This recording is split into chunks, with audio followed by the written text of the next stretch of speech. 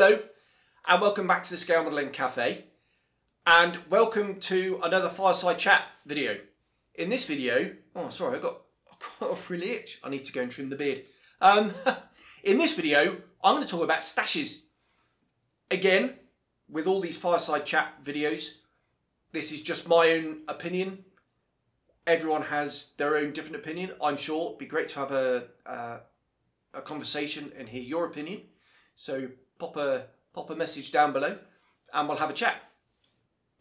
Okay, stashes. This was um, I was inspired to do this video from a comment I said in one of my weekly update videos a, a couple of weeks ago, week or so ago now, where the subject of stashes cropped up because I prefer to buy Eduard kits as the overtrees because they're cheap. They're about eight quid for a 48 scale fighter. And over time, I'll just buy little aftermarket bits and pieces to stick in the box. Because what I don't want to do is buy a Profi pack nice and early and spend 25, 30 quid on, on a kit and just have it sat in the stash when I can spend eight quid on a kit and then just pick up a few cheap bits and pieces as I go along. Or not do any of that and just wait until I get the inspiration to build the model, then I'll go out and buy what I want, it at it, build it, done. So it's partly because I'm a bit cheap and I don't want a whole load of my money tied up in a in a massive stash. That is why I don't have a big stash. The, because I don't want the money tied up in it. Right, with the Eduard kits.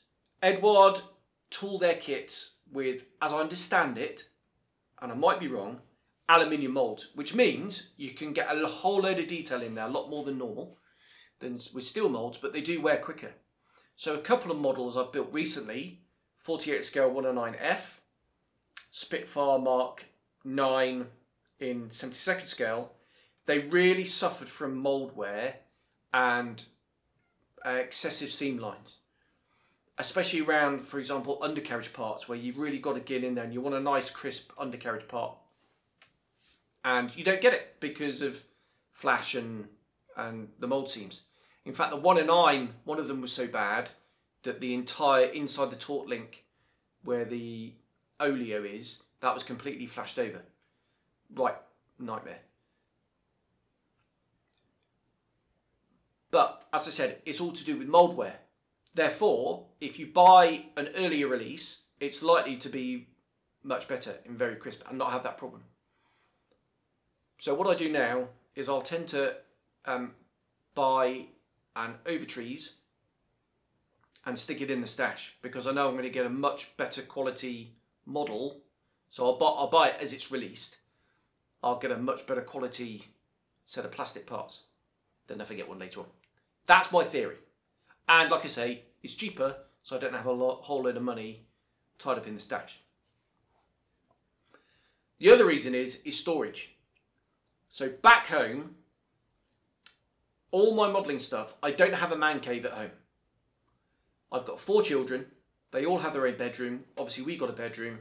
And the house is, it's a reasonable size, but there isn't a large study or anything like that that I could convert into a modelling room.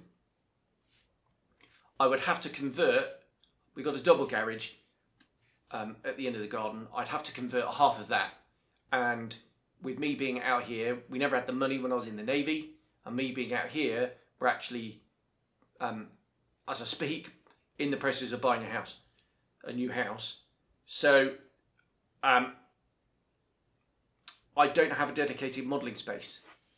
My stash was in one old wardrobe that was in the garage. And I've probably got, I should really say how many kits I've got. How many have I got? Probably 50 or 60 kits in the stash, which is not huge, obviously, by many other people's standards. I wish it was only about 10, if I'm really honest. However, I got some really nice kits in there that I'm really really looking forward to building.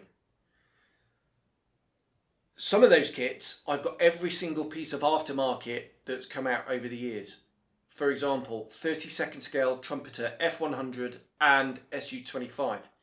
I have a lot of money tied up in just those two kits in the stash. They've got every bit of resin, every bit of photo etch, every bit of blah that you can possibly get in those two kits. And I will be building them, definitely. No idea when. Um, maybe, maybe I'll do one next year. I'd like to. I'll have to see. So I have a storage problem at home.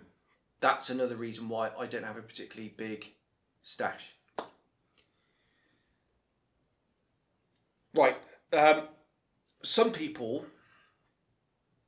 have humongous stashes. Now I know, for example, my friend Drew has a has a has an amazing stash, and it works for him because if he wants to do a particular model, he can just grab it and then build it. Um, he likes seventy second scale kits. I know he's got a whole load of five, like for example, Fine Molds one and nines and and loads of these and loads of that and you know Hasegawa phantoms and just Lo- loads of stuff. And it's great for him because if he just has a flash of inspiration, he will have it in the stash so he can go and grab it and, and build it. Fantastic. I don't necessarily have that. So the disadvantage is if I have a splash of inspiration and I really want to do a kit, chances are I don't have it. And there's a big risk that it's way out of production and I can't get one anywhere. And if I do get one, it is actually quite expensive, which is a nightmare. And I had exactly that for the Airfix Lightning. The project came up, Ammo asked me to do one, and I didn't have one. So um, luckily, some of my friends with bigger stashes um, had them, and uh, and I could buy them off them, or even Mike of Phase Hangar the little thing there, in fact. Shout out to Mike from Phase Hangar Resins. He actually very kindly sent me one. So thanks, Mike. So he's got a big stash. Um, so I guess that's it. It's quite simple. The advantage of a big stash is you're more than likely, when you have a flash of a flash of inspiration, you've got the kit there. The disadvantage is that's actually a lot of money tied up in a massive stash. And the disadvantage, it takes up a whole lot of a whole lot of room. Now, in my new house, um, luckily we're moving into a bigger house, and I'm going to have uh, a man cave. It's actually going to be a sort of a part man cave, part second living room. We're going to buy a whole load of storage for that room because I want my library, little library, um, I've got way more books and magazines than I have kits. Uh, I'm going to bring that into the house and that's all going to be indoors, which is great. And then eventually we're going to get round to, I'm going to design my own work area and it's all really very, very exciting.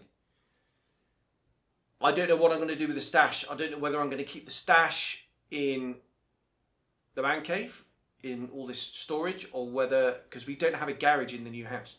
We're going to have to build a, like a storage lean-to thing down the side. And i really don't know where you know how much storage we're going to have. So i may well have the same problem.